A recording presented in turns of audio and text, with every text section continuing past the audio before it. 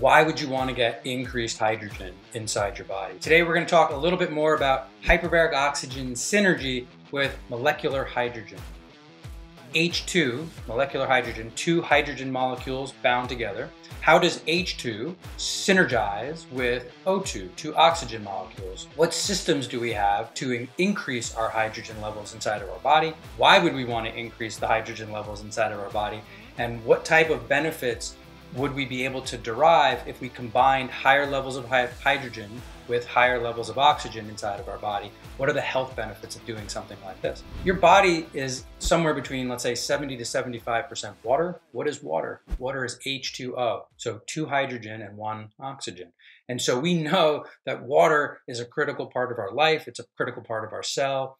Uh, and all the other liquids inside of our body. And so we use that hydrogen and oxygen as a way of balancing so many systems inside of our body. One is that oxygen, again, we've covered oxygen de- in detail with oxygen mechanisms, oxygen benefits, uh, the effect of oxygen on the mitochondria, the effect of oxygen on cell signaling. We also know that oxygen is an oxidant.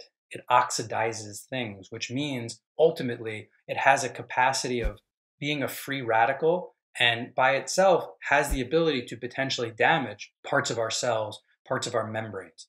Now, we know that hyperbaric's long term benefits is improving our antioxidant system. So we have a way of internally dealing with that oxidation, but hydrogen is one of those ways. So if we have a free radical oxygen that's starting to become, you know, hyperactive and it's starting to create either membrane or cellular damage, if we can bind it to hydrogen, that is one way of taking a free radical and reducing it or making it inactive. And what we could do is we can bind the oxygen with two hydrogen. And what does that become? Water. And so as we reduce oxygen, we can save our cells and save our membranes from that free radical damage. Increased hydrogen inside of our body acts like a reducing agent. That reducing agent helps to minimize the effect of the free radicals inside of our cells, inside of our body. And there's a very difficult balance between oxidation and reduction. It's called redox. And having that balance is critical for long term cellular health. Hydrogen and oxygen work together to maintain that balance. Increasing the hydrogen, especially doing a round of increased hydrogen before hyperbaric exposures, is a great way of balancing that redox system inside of our body. Inside of our mitochondria, our body requires a hydrogen gradient in order to make ATP. So we talked about oxygen is one of the rate limiting steps to ATP production. If we don't have enough oxygen, we can't generate the ATP that we're looking for. We talked about red light, which was a cytochrome C stimulant, which helps pass the electrons from one, one carrier to the next to make sure that we keep a concentration gradient of those electrons moving. But ultimately, what we're doing is we're creating a hydrogen gradient inside the inner membrane of the mitochondria. And that gradient, as the hydrogen molecules start spilling out, that's what spins the ATP synthase, which is that last step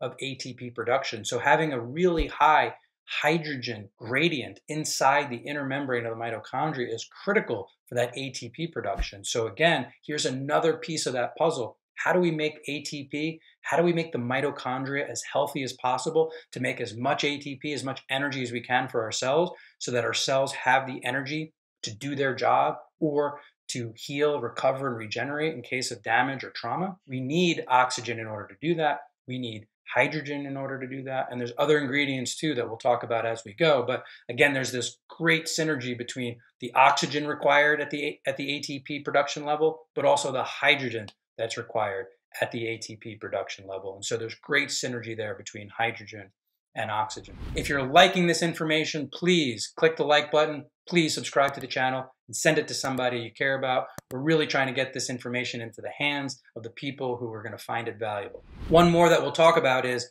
gut health.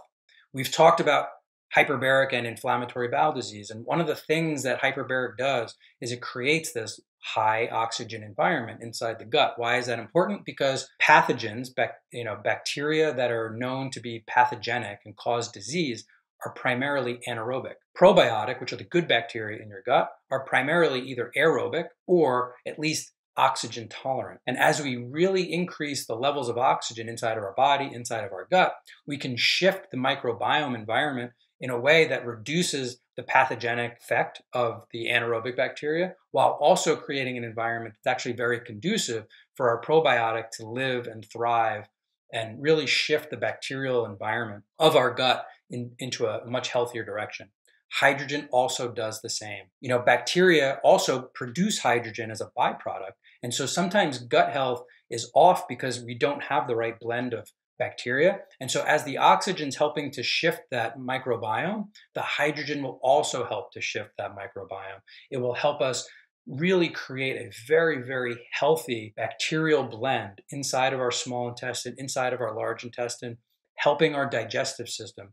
The bacteria in our gut play a critical role in our immune system. They make up some 70% of our ability to fight infection, but they also create nutrients for us. So when we eat certain foods and we feed that microbiome, the microbiome releases byproducts, and those byproducts are often very helpful for us the synergy between our cells and the bacteria that live inside of us really needs to be in a very delicate balance in order to make sure that they're producing all the healthy nourishment that they help provide for us. We provide for them when we eat certain foods, and they provide for us with their waste products being actually some of the nourishment that we need inside of ourselves. And so, again, there's this great balance between H2, hydrogen, and O2, oxygen, in terms of balancing the microbiome.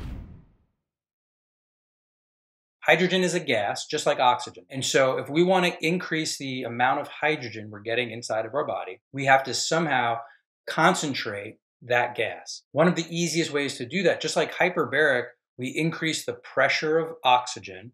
And by increasing the gradient, the pressure gradient of oxygen, when we breathe oxygen in, we can increase the amount of oxygen we're going to dissolve inside of our liquid which happens to be plasma. And by increasing the amount of oxygen in our plasma, it becomes a free floating gas that's now being able to be delivered to all the working cells that ultimately need to get access to that oxygen. Hydrogen, we could breathe in and we could also drink it. So we can increase the amount of oxygen in a liquid, just like we're doing with hyperbaric, but increase it in water. And as the increased hydrogen level lives inside that water momentarily, we can drink that increased concentration of hydrogen in the water. And that will be an increase in hydrogen gradient, which we can then use to deliver hydrogen throughout the rest of our cells and tissues that are looking for increased hydrogen. Two mechanisms that we could use to do that. We could either use a very specific type of magnesium, and when we put that magnesium inside water, ultimately hydrogen gas is released. And so here are just two magnesium tablets. If I put them inside water and I let them sit, you can see the hydrogen gas coming from those two magnesium tablets. Now we would just wait for that hydrogen to gas off gas from the magnesium. The magnesium will completely dissolve inside that water, and then we can drink that water, and that water will have an increased hydrogen content. This is a water uh, water filter that actually removes the oxygen. So it's actually going to be a, a mechanism that's cleaving oxygen off of the hydrogen. As we're doing this, it's actually pulling the oxygen out from the bottom of this unit and the bubbles that you see are increased hydrogen. So it's just cleaving the hydrogen and the oxygen. We're not actually adding anything to this water in order to get the increased concentration of hydrogen. All we're doing is separating hydrogen molecules from oxygen molecules, pulling the oxygen out of the water, and then allowing the hydrogen to super concentrate in that liquid. Once that's finished filtering and it has the hydrogen inside, we can then just drink that water and get that increased concentration of hydrogen. So those are two different mechanisms. The company that makes that, uh, Synergy Science, they happen to have also a whole house system. So this is like a portable version. You could also put one on your sink. It will do the exact same process. And this is just, you know, the one we use for travel, but that's a great way to get hydrogen, especially because we're not adding anything to the water in order to get it.